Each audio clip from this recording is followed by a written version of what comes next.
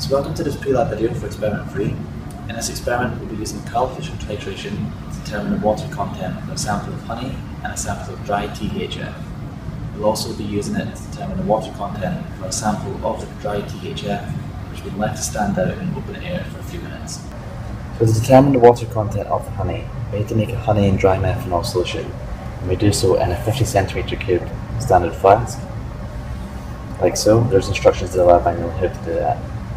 We then take approximately 0.5 mils of our sample in the syringe and we carefully place syringe with our sample in a beaker on the balance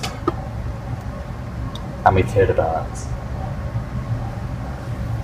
So once we have torn the balance with our sample, we can then set up the volumetric titrator and it will undergo a pre-titration to remove any water which is in the titration cell before we've actually entered the sample.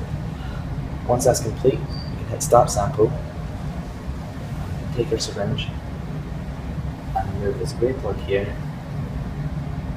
and enter our sample into the cell through that hole. Once we've entered that, we take our empty syringe we can record the mass of the sample that we've entered and we can enter this mass into the titrator.